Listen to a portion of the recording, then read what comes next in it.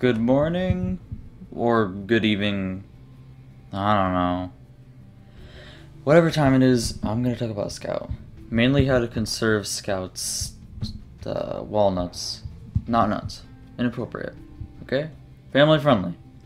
But also, a few other things, not just con uh, conserving your ammo. First of all, let's talk about the abilities. The main thing, of course, is the slingshot. There are quick and charge shots, each having different stun times and damage. Mainly, you want to do charge shots since they actually deal damage, while quick shots are mainly used if you're like panicking or you're using it to charge up evasive maneuvers. And of course, Scout's max ammo is 10, you probably already know that. And evasive maneuvers gives you a speed boost, around the speed boost of a candy bar. And it will activate if you hit the neighbor three times within a time period. This time period is a two second timer. But if you hit the neighbor with any shot, so quick to charge, the timer will reset, giving you an extra two seconds. So just imagine a timer of two seconds, and when you hit the neighbor, the timer resets to two seconds again. So yeah, you can in reality get like four to six seconds, I guess. Uh, and of course, since that, you could do charged or uh, quick. If you are um, attacking the neighbor, of course, charge is always more favored, and really, it's not that difficult charging up evasive maneuvers with um, charge shots. And if you may be questioning why you need the speed, if it's like worth stressing to get evasive maneuvers. It's kind of just nice because the neighbor kind of can't well, attack you, I guess. So that's mainly why I use, and I mean, most people use it. But, and of course, if you're always afraid, don't be scared to use quick shots. Like, if, if you're like, the neighbor appears, or you think you're gonna die, just panic, it's okay. Now let's move on to locations. And note these don't have to be like ingrained in your brain. It's just a good idea to like get an idea of their locations. So that way if you need to know where one is, you can do looking for young walnut bags in your area. So now I'm going to show you the refill stations on map 1. First of all, there's one in the shed outside. The second location on map 1 is in the garage, right where this little couch setup is. And now from the main basement area, if you go up these stairs here, you get in this hallway with a refill station. On the third floor in the kitchen, there is another refill station right next to the refrigerator on the little drawer here. Through the little neighbor gate here, and if you head up to the greenhouse, there is also a refill station in there. The last one's through the hole in the little prison room here, or it's upstairs from the kitchen. Now onto map 2, right next to the basement area, in the kitchen, there is a refill station.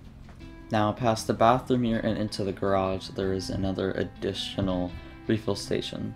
Upstairs where there's two bedrooms, there's also a refill station. There's another refill station on the third floor in the prison room here. In the level 3 keycard area where the kitchen is, there's also a refill station. Heading up to the roof, there is another refill station and that is the final one. Now for map 3, there's also one in the shed.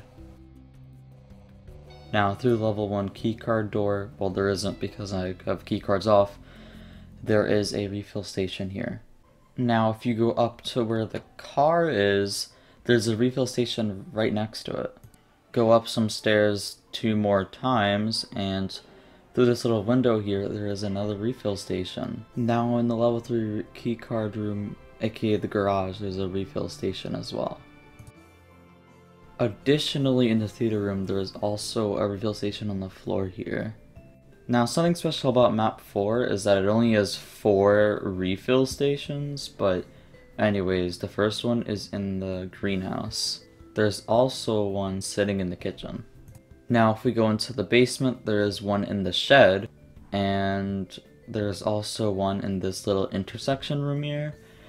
I don't know if it's really called intersection room. I just like to call it intersection room because, well, it's a large room in the middle of areas with doorways. Now, we actually have a really real sponsor. I'm totally not making a joke. This is so real, and you should totally believe it.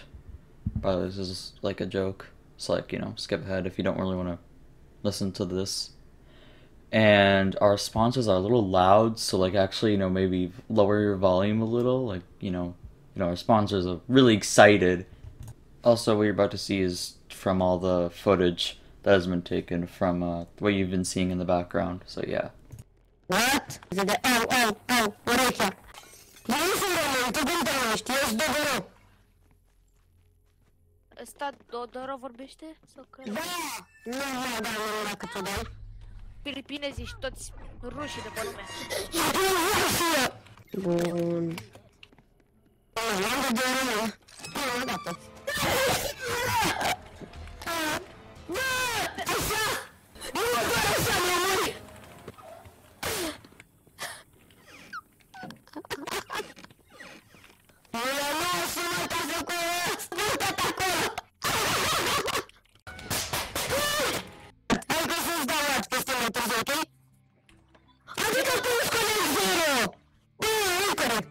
Okay, now let's talk more about the slingshot. Charge shots deal about the same damage as like a regular thrown item, but it's slightly less. Meaning that you could try to attempt to kill a neighbor, but I like to discourage it as you might be alone doing it and that could be dangerous, but also, come on, cut the neighbor some slack. Also, remember, you can shoot through the neighbor's gates. It just can take a little bit of precision, but you can save someone that maybe cop uh, from a butcher neighbor, since, well, you get some really easy kills as butcher neighbor with the neighbor gates. The slingshot could be useful to have out when maybe the neighbor appears behind you, or maybe you have keys and key cards in your inventory, so you may want to keep those, or just they're bad throwing items. I'd say the slingshot is most useful when saving someone could be difficult as slingshots have nearly no arc and are pretty accurate. Though there is a noticeable arc when using quick shots. Charge shots have an arc, but I mean, I'd not worry about it. Now, moving on to when you should try to activate evasive maneuvers. Usually, I do it when I know I can't fight the neighbor, so when you're on your own or with low ammo or just don't want to fight them. You can also use evasive maneuvers in combat as a neighbor might not even be able to touch you with it. And let's talk about playing as scout as a neighbor. Well, simply you can knock down people with your slingshot. Though I would only recommend doing this against groups of two. And also scout is amazing when you're trying to chase down someone who's running away. Just shoot them with charge shots. Last thing is how to deal with scouts. Usually, if you're the neighbor versus a scout, you're kind of limited on what you could do. Usually, you definitely want to target them as basically they're going to be saving the entire team. But also, facing a scout head on is not exactly a good idea. Maybe try to get around them a little or see if you can stop them from fighting you near a refill station because basically if they're not near a refuel station they're gonna have to conserve those shots also if a scout is the neighbor and they're firing at you there really isn't much you could do i mean you could try to dodge but it, it probably won't really do anything for you just if you know a scout is a neighbor give them no chance if you let them start shooting your teammates everything's gonna go downhill. Don't give them any chances. And yeah, that's really all. Hopefully I didn't miss anything important because probably some scout was gonna be in my house at 3am.